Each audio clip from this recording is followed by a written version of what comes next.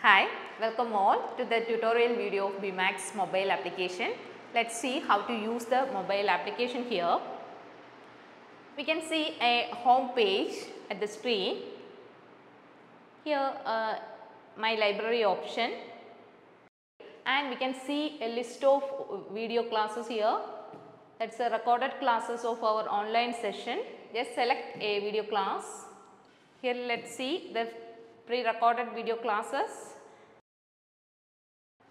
The recorded classes from our evening online session. Okay, you can scroll and uh, watch the video. In the last part of the video list, we can see a open test series here. Just open that and select a question part. Start. Start the test. Beta 1 agonist. After submitting all the answers, let's go to the option submit and finish. Okay. Here we can see the solutions of this question and our score here. We can see the solutions for all the questions here. Okay.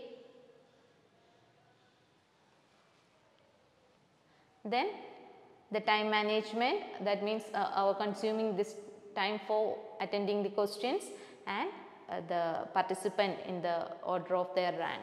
We can see a, a dashboard option here just select the dashboard here is a study materials option. We will get all the study materials from this option okay.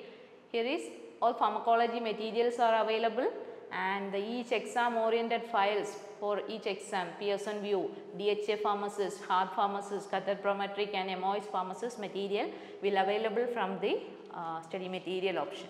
Thank you all.